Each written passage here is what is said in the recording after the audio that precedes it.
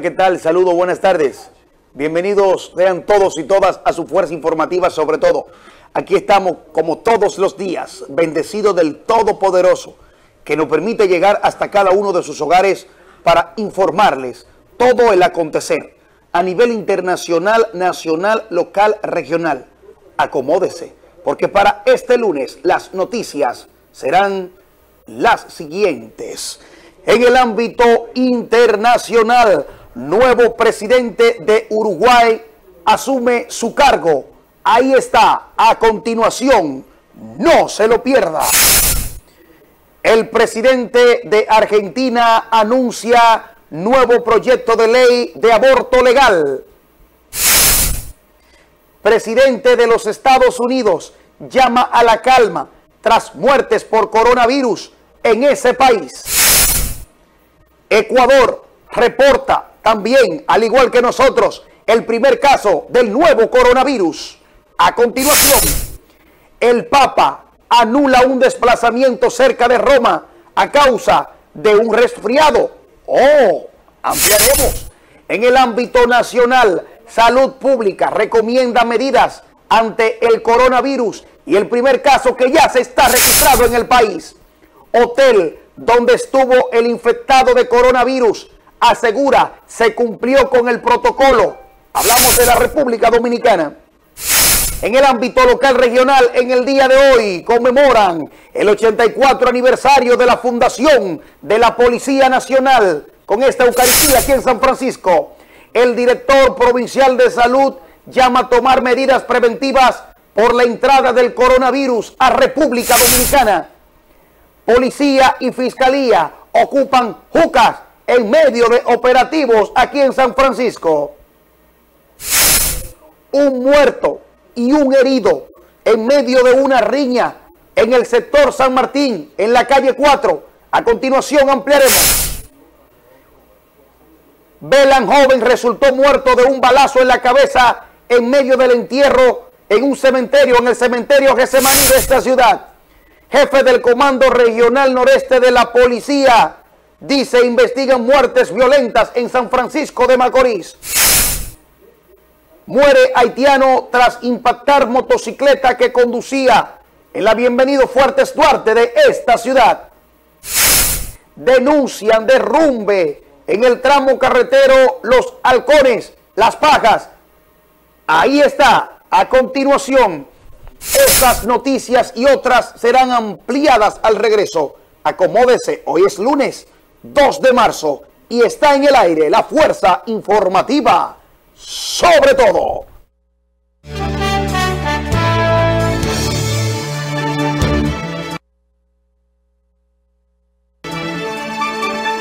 Luis Lacalle Pou asumió como presidente de Uruguay luego de 15 años de gobierno de izquierda.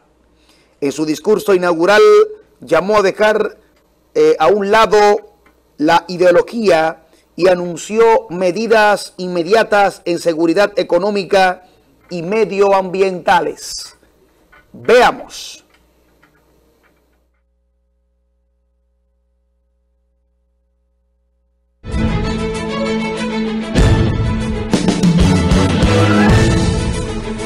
Queda usted investido en calidad de presidente de la República.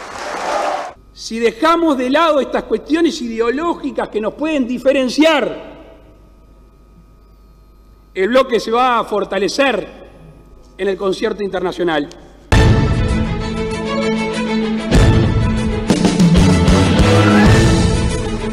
Bueno, 15 años después de la, de la izquierda estar dominando el poder en Uruguay, ahora Luis Lacalle asume como nuevo presidente de ese país e inmediatamente insta, propone olvidar esas ideologías para asumir este nuevo mandato. En tanto que el presidente de Argentina anunció nuevo proyecto de ley de aborto legal Vamos a ver lo que dice entonces Alberto Fernández, quien dice enviará al Congreso un nuevo proyecto de legislación del aborto, iniciativa que en el 2018 había rechazado el Senado durante el gobierno de Mauricio Macri. Adelante.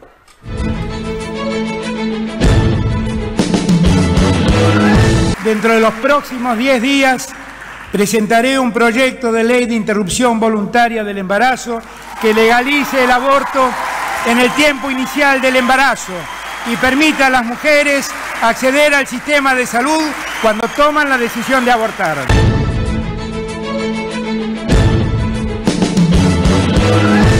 Bueno, ahí están las declaraciones del nuevo presidente, bueno, el presidente de Argentina, inmediatamente recibiendo las ovaciones por parte de lo que se encontraban presente y ahí está. Señores, miren, continuando en el ámbito internacional, el presidente de los Estados Unidos llama a la calma tras muertes de coronavirus en ese país.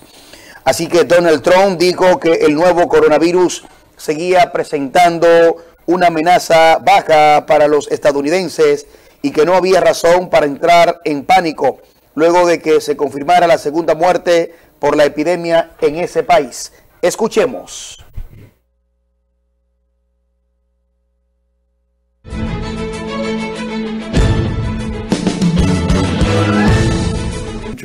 Nuestro país está preparado para cualquier circunstancia.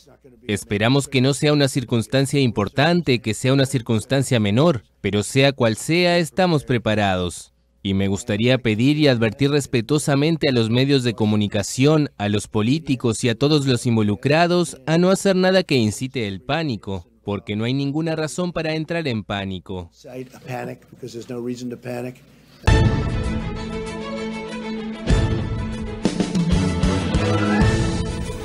Señores, miren, en otro orden ya en el ámbito internacional, Ecuador reporta el primer caso de coronavirus.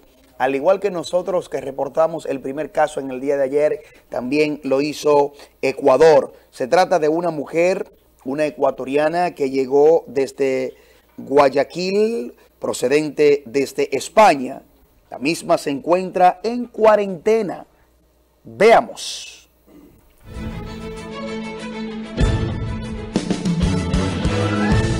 La paciente ah, eh, actualmente se encuentra en terapia intensiva en uno de los hospitales que estaba destinado para atender coronavirus. Está con todos los protocolos activados.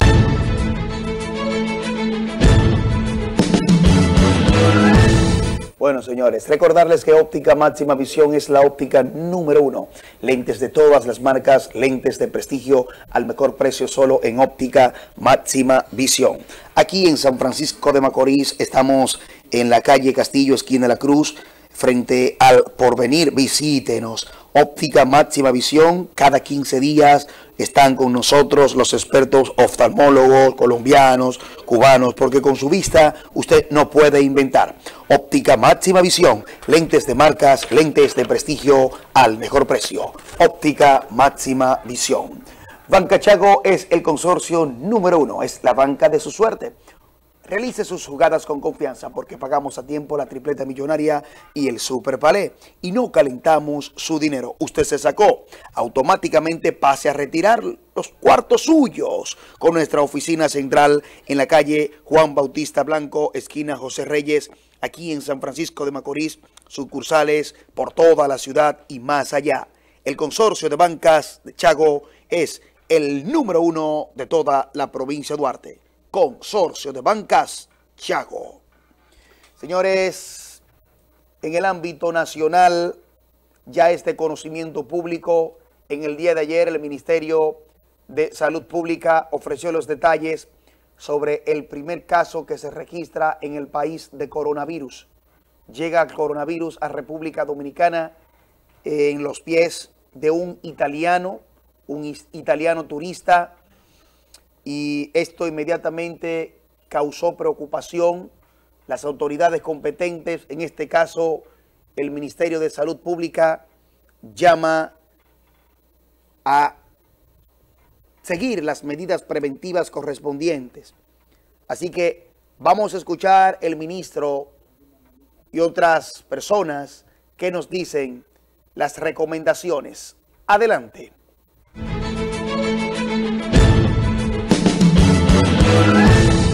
Transporte sigue normal. La Organización Mundial de la Salud no ha prohibido la circulación de pasajeros y cargas, lo hemos dicho en cada una de las conferencias. nosotros hemos hecho una prohibición esencial aquí con relación a los vuelos directos desde Milán, que se sale del marco de la norma que hasta hoy ha mantenido la OMS, que no se tome esto como que se trata de una catástrofe mundial a la que estamos asistiendo. En los Estados Unidos, y lo acaba de decir el propio presidente Trump, mueren más que lo que se ha producido por gripe, que lo que se ha producido eh, de muerte por coronavirus a nivel mundial. Ese virus ya lleva un par de gente muerta y llegó a nosotros, República Dominicana. Nosotros como país podemos tener mejor precaución, lo que pasa que lo que deberían de tener la opción de eso, los que no, no están en eso lo hacen por hacerlo y ya, y no lo hacen como deberían de Prohibir los vuelos hacia aquí, hacia este país. No dejar entrar personas de, de esos países que están contagiados y tener más precauciones, usar mascarillas en los aeropuertos, eh, usar guantes.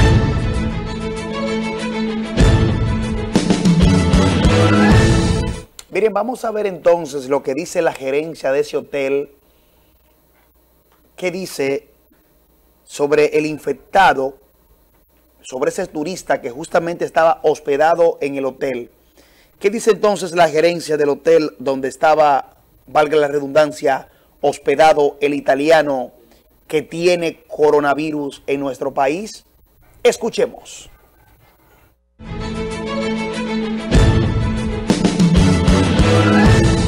El, el Hotel Biowedan Dominicus tomó medida preventiva por el coronavirus desde hace más de dos semanas, desde cuando el virus estaba notable desde el punto de vista internacional como medida preventiva. El día 22 de, de febrero llegó en el país, en el aeropuerto de La Romana, un huésped de, de Viaggi, hospedado, está supuesto hospedarse desde el día 22 hacia el día 29 de febrero. El día 24 presentó los primeros síntomas influenzales, gripales. Fue a nuestro centro médico y allá seguimos todos los protocolos gubernamentales establecidos.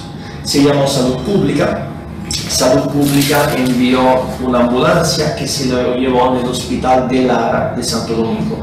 Es un hospital militar, la única institución establecida para tratar estos tipos de síntomas.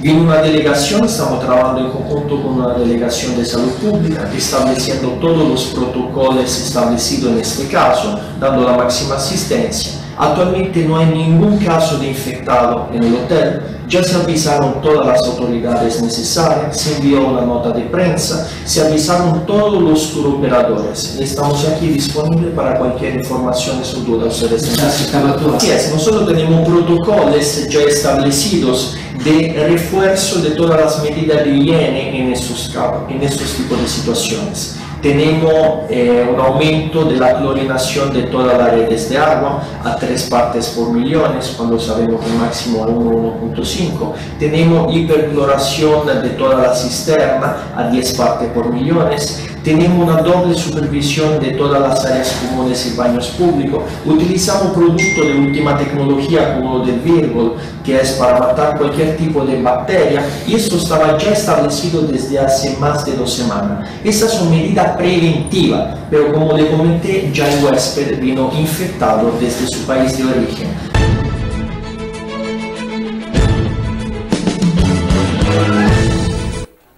Difícil, señores, ¿verdad? Porque miren, el coronavirus, eh, para de, al principio usted detectar que tiene coronavirus es muy difícil.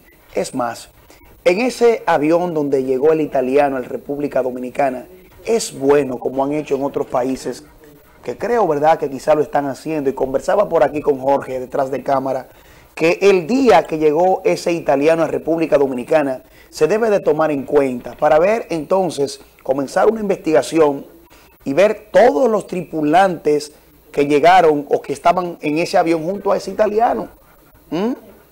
Porque desde que él llegó aquí a República Dominicana, al parecer ya tenía la enfermedad o el virus. Entonces, imagínense ustedes si ese italiano estornudó dentro de la aeronave.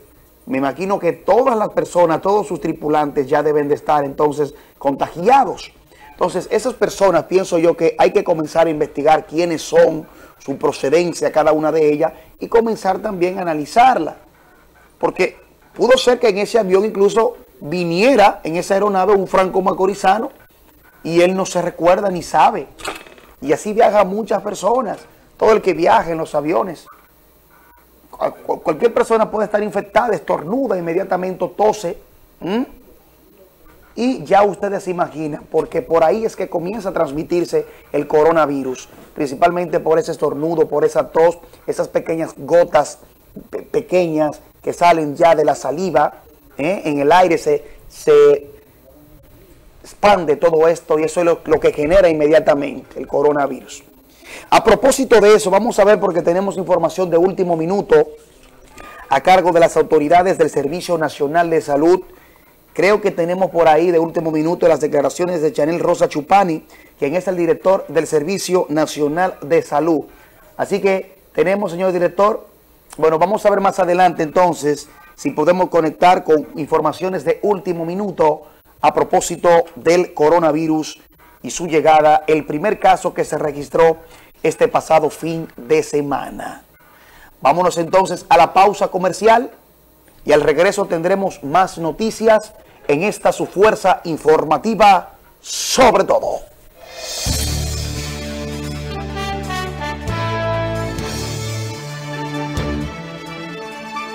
Bueno, vamos a ver, como les decíamos hace un momentito, de último minuto, declaraciones del director del Servicio Nacional de Salud, Chanel Rosa Chupani, a propósito del primer caso de coronavirus que se registró en el día de ayer en República Dominicana. Escuchemos. Déjeme hacer una aclaración general, que ya la hemos hecho, la ha hecho el Colegio Médico Dominicano, la ha hecho todas las instituciones y queremos reiterar Miren, el coronavirus eh, presenta un cuadro epidemiológico donde generalmente el 80% de las personas que lo contraen no tienen ningún tipo de complicaciones. No tienen ningún tipo de, complicaciones y pasa generalmente como una, una, una gripe normal, vamos a decir, para que se entienda. Hay un 20% que eventualmente podría tener una complicación. De ese 20%, la, tasa de, mortal, de letalidad, que la tasa de mortalidad es ronda alrededor del 2.5%. En países donde ya hay casos eh, abundantes, esa, tasa de mortalidad eh, pasa a un 14% cuando son personas mayores de 80 años. Pero cuando son personas menores de 60, 50, eh, años, la tasa de letalidad es muy baja. Nosotros, ¿qué es lo que hemos hecho hasta ahora? y se ha ido informando paso a paso. Se han creado lo primero es decir que todo este proceso ha sido eh, bajo la asesoría de la Organización Mundial de la Salud, que ustedes saben que declaró una alerta internacional. Cuando se declara una alerta internacional de cualquier eh, patología, hay dos temas que son fundamentales que todo país miembro deben acatar. Primero, informar a OPS, a OMS, cuando se produzca un caso o los casos se produzcan, informarlo inmediatamente. Y segundo, acogerse a un protocolo internacional. Ese protocolo internacional es que el Ministerio de Salud Pública ha estado aplicando en nuestro país, que consiste en la creación de áreas de aislamiento en diferentes hospitales. Nosotros tenemos ahora mismo áreas de aislamiento en el hospital Nuestra Señora de Gracia de Higüey, en el hospital eh, Cabral Iba de Santiago, tenemos el Marcelino Vélez eh, Santana de Santo Domingo, tenemos también el Ramón de Lara de, de San Isidro y también tenemos el hospital Ricardo Limardo de Puerto Plata. El ministro de Salud, Pública había informado y estamos en esa ahora, o sea, saliendo de aquí vamos a una reunión que se va a habilitar en, en la base naval en San Isidro un, área de 50 camas también de aislamiento. Y tenemos las pruebas que se hacen aquí en el país ya y que los resultados se obtienen de 6 a 7 horas una vez eh, se envíen las pruebas importante, la definición de casos. O sea, no todo el que está tosiendo, no todo el que tiene una gripe es un caso eventual de coronavirus. Señores, y la OPS, la OMS definió que era un caso. Un caso son personas que presentan estos síntomas y que lleguen de un país que haya eh, la epidemia. Eso es lo que se llama un caso sospechoso. Ese caso sospechoso, porque no todo el que tenga tampoco también esos síntomas, el coronavirus no tiene síntomas específicos, sino que son los síntomas normales de una afección pulmonar. Por lo tanto, todo el que tiene esos síntomas viene de un país, viene de ese país, se ha sometido a ese protocolo, que les reitero, es un protocolo de la eh, Organización Mundial de la Salud. Se procede al aislamiento en los casos que así se Por ejemplo, en el caso de la persona que ya se ha anunciado, que, eh, que ciudadano italiano, el hotel informó a la Dirección Provincial de la Altagracia sobre ese caso, inmediatamente se produjo el, el, aislamiento del mismo. En este momento se está construyendo el mapa de contacto epidemiológico para saber la persona que estuvo en contacto con él. No todo el que venía en el avión necesariamente tiene que contagiarse. Recuerden que ese, el contagio de coronavirus no pasa de más de dos metros. O sea, eso no es... Y lo digo porque hubo preocupación también los, las personas que viven cerca del hospital eh, Ramón de Lara. Eso no se contagia a kilómetros, eso no vuela por el, por el aire a grandes distancias. Eso, la, el contagio máximo es a dos metros, metros de distancia. Entonces, eh, con esas informaciones, igual, el personal del Laboratorio Nacional fue enviado a una capacitación a México antes de este proceso, hace alrededor de un mes, está capacitado y estamos dando las la pruebas seis horas, seis a siete horas después de que son enviadas a ese laboratorio eh, médico nacional. Esta información de suma importancia eh, y recomendación, aclaración al mismo tiempo que hace Chanel Rosa Chupani sobre el coronavirus, señores. Ya ustedes ven esta orientación que ha dado el director del Servicio Nacional de Salud. Miren, vamos a ver, señores, continuando con las noticias en el ámbito local regional. La policía en el día de hoy está de fiesta, está conmemorando su 84 aniversario de fundación en nuestro país. Y por ende, eh, está, realizó la mañana de hoy una Eucaristía en la Catedral Santa Ana. Contó con la participación de la alta dirección aquí en San Francisco de Macorís, encabezado por el general Alberto Ten, personalidades, empresarios que apoyaron la mañana de hoy esta Eucaristía en la Catedral Santa Ana. Escuchemos.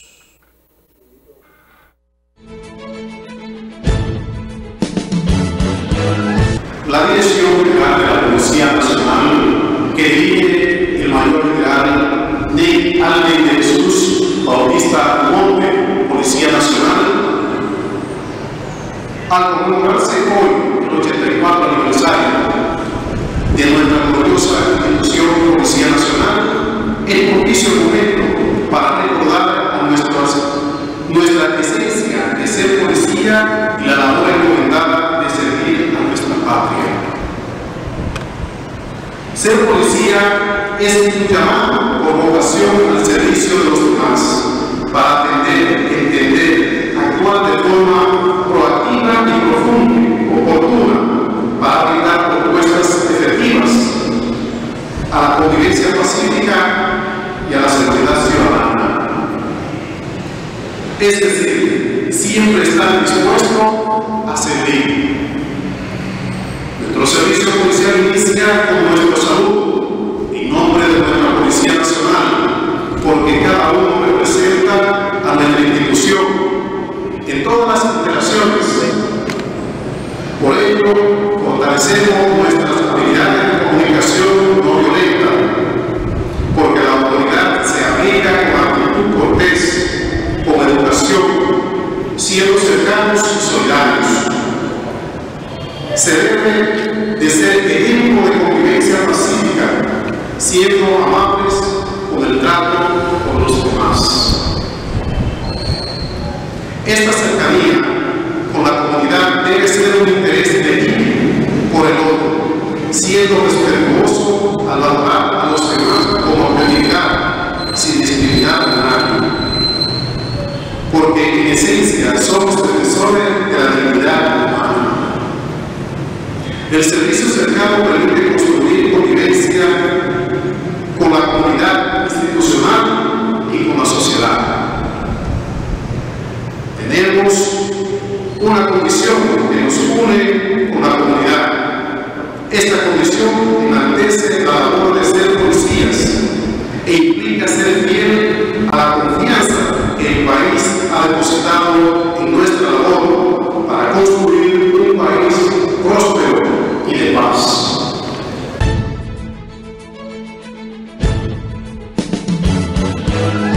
Felicidades a nuestra Policía Nacional y que sigan, ¿verdad?, eh, realizando un trabajo encomiable, un trabajo para lo que están destinados, velar, proteger, salvaguardar la ciudadanía, protegerla de, de los actos de fechorías ilícitos, robos, atracos, entre otros males. Felicidades a la policía. Miren, el director provincial de salud llama a tomar medidas preventivas por la entrada del coronavirus a República Dominicana. Escuchemos entonces al doctor Ramón Morisete. Adelante.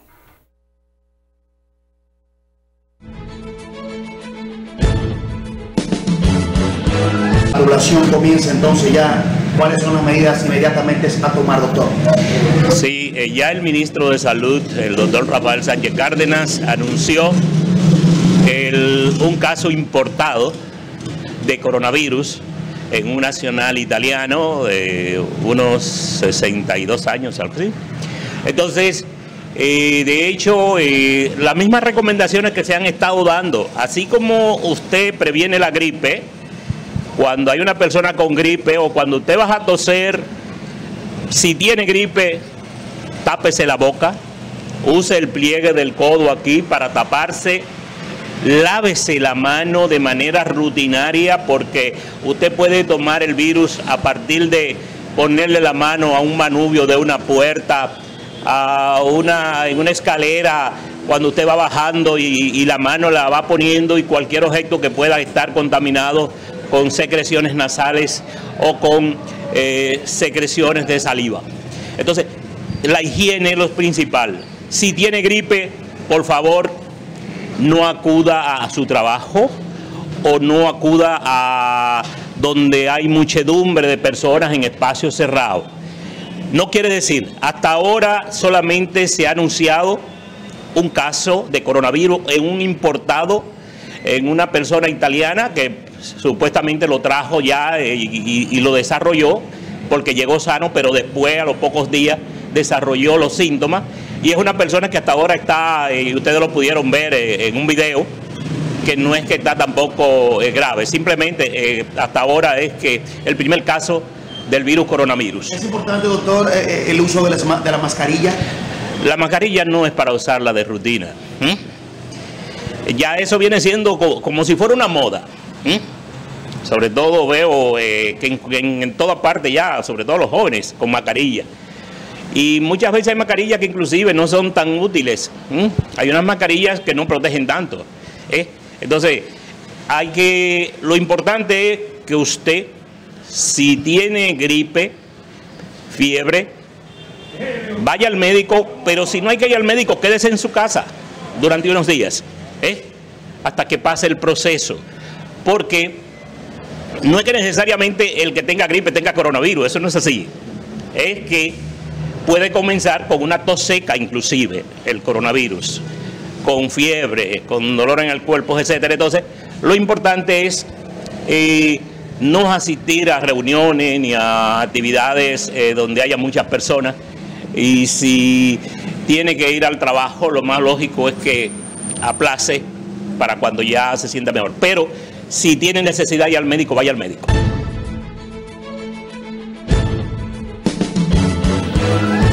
Miren, señores, la Fiscalía y la Policía Nacional realizan operativo en el día de ayer, donde fueron ocupadas alrededor de 24 jucas.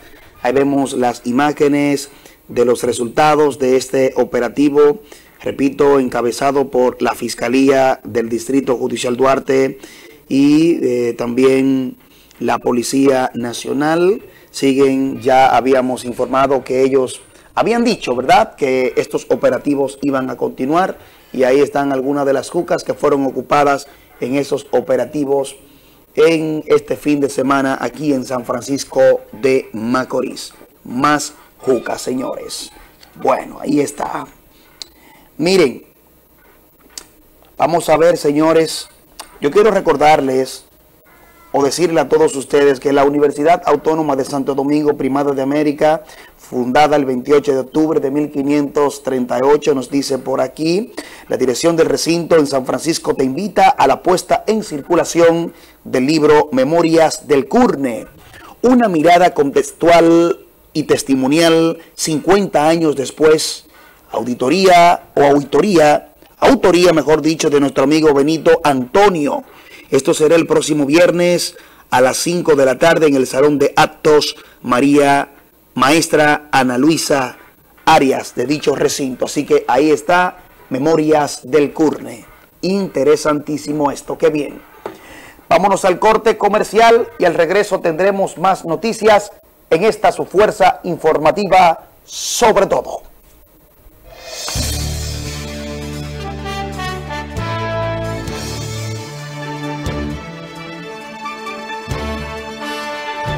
Un muerto y un herido en medio de una riña acontecida este fin de semana en el sector San Martín, aquí en San Francisco de Macorís. Pero antes de entrar con las informaciones en el ámbito local regional, vamos a ver por qué no han estado solicitando el video o la imagen del italiano, el italiano que ingresó a República Dominicana. Mírenlo ahí, ahí está, saludando y todo el italiano.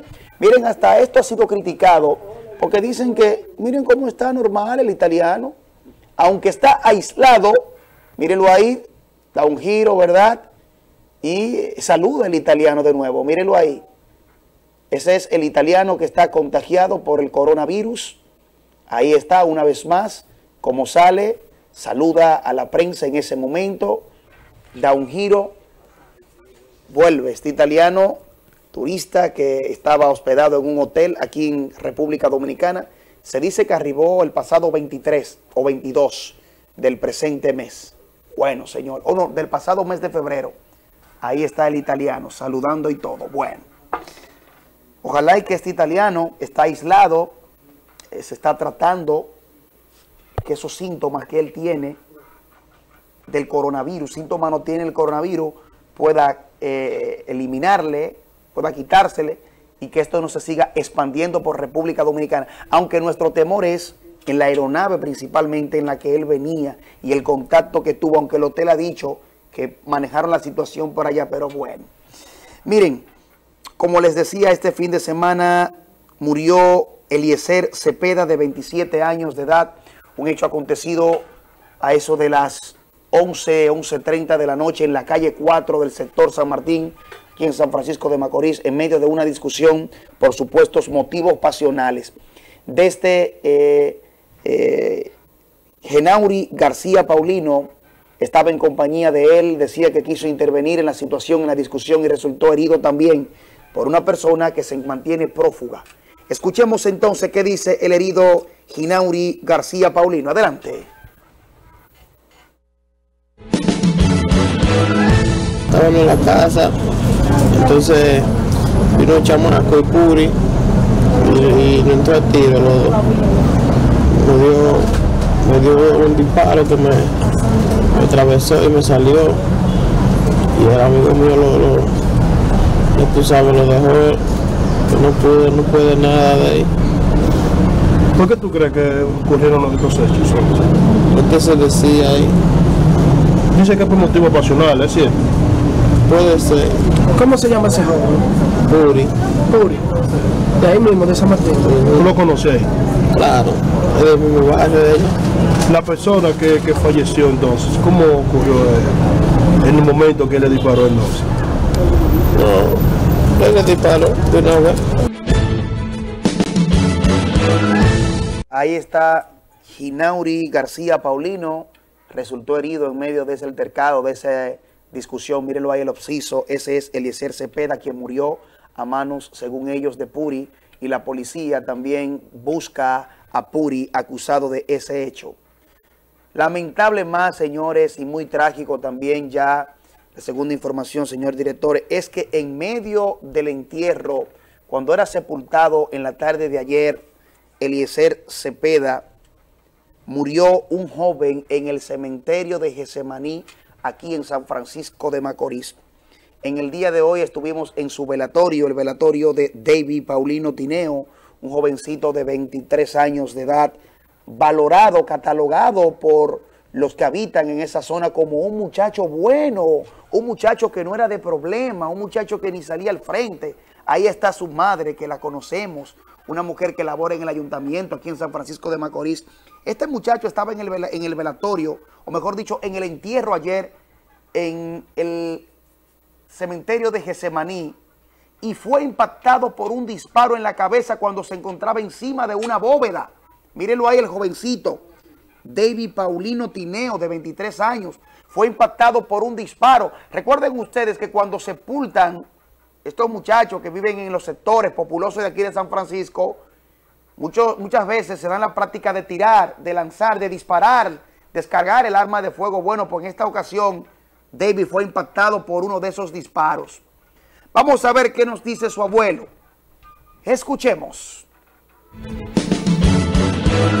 Él fue a un entierro de un amigo en el día de ayer y estaba encima de una bóveda, había un grupito como de cuatro y cuando lo enteraron que ellos se iban eh, apiando, cuando bajó la cabeza, comenzaron a tirar tiro y se le pegó un tiro. Nosotros no sabemos si fue intencional o no fue intencional. Nosotros lo que digamos es... ¿Qué piden ustedes? Que la justicia tome control, que la justicia trate de apresarlo lo más pronto posible. porque eh, las familias son personas cristianas y no estamos en... Pero quieren una investigación. Sí, en tomar venganza nosotros mismos.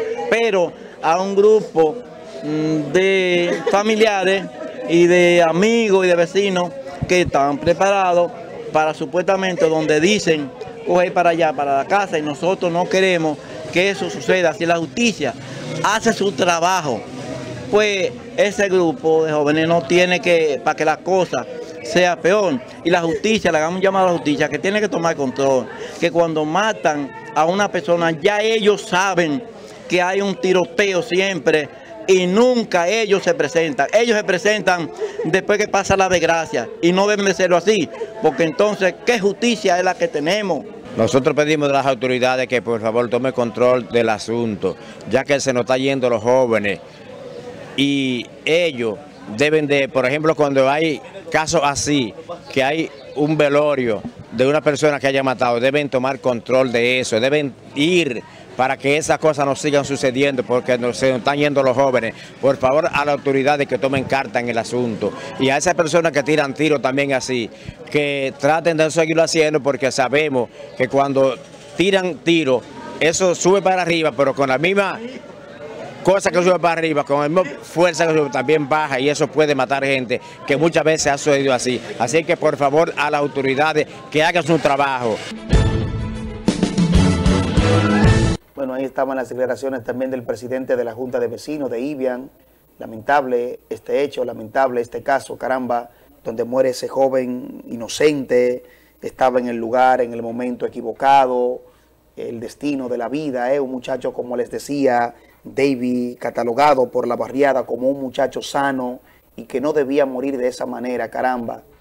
La policía investiga este caso, estas muertes. A propósito de eso, le cuestionamos hoy al general de la plaza sobre esas muertes acontecidas en San Francisco de Macorís en menos de 24 horas, se puede decir. La muerte tanto de Eliezer y la muerte también en el día de ayer de Davy. ¿Qué nos dice el general Alberto Ten? Escuchemos.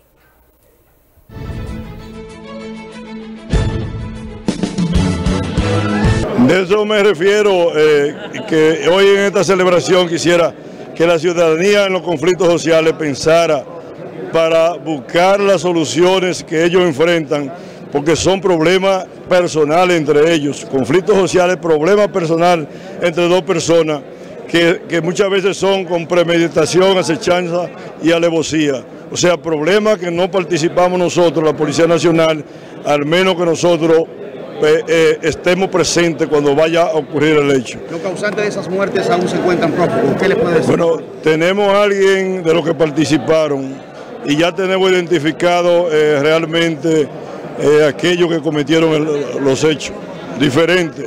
Uno fue por asuntos pasionales primero y el segundo fue cuando estaban ya dándole cristiana sepultura en el cementerio, que había uno parado sobre una...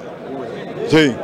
Entonces, uno disparó, no sé por qué disparó ese señor, alcanzando al que estaba arriba de él eh, en la cabeza. Inmediatamente, o sea que son hechos que no son delincuenciales, son hechos que son de- producidos por la misma sociedad. ¿Qué llamado se le hace a ellos entonces? El llamado de vivir en convivencia pacífica, de escucharnos cada vez que nosotros nos reunimos con la sociedad, que le aconsejamos cómo se puede vivir en una sociedad en armonía, como hermanos, como lo que somos.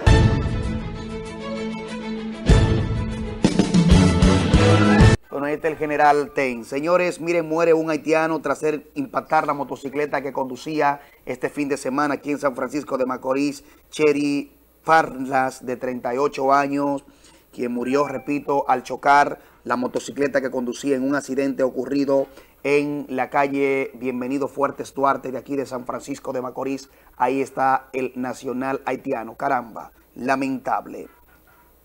Miren, denuncian también un derrumbe en el tramo carretero Los Algodones o Los Halcones con las pagas. Así que residentes en esa zona están atemorizados por la situación de esta eh, carretera que representa un peligro para los conductores de guagua, de motocicleta, y ellos han hecho el llamado a las autoridades competentes para que lo más pronto posible buscar una solución a esto y evitar de que ocurra un hecho lamentable en esa zona. Mírenlo ahí, en la misma carretera prácticamente. Imagínense ustedes el conductor de un vehículo, de una motocicleta en horas de la noche, lo que puede pasar. Muchísimas gracias a todos y a todas por habernos permitido llegar hasta sus hogares. Si el Todopoderoso lo permite, estaremos aquí mañana a partir de las 12 del mediodía por este canal 8 de Telenor. Porque gracias a ustedes somos y seguiremos siendo la fuerza informativa sobre todo.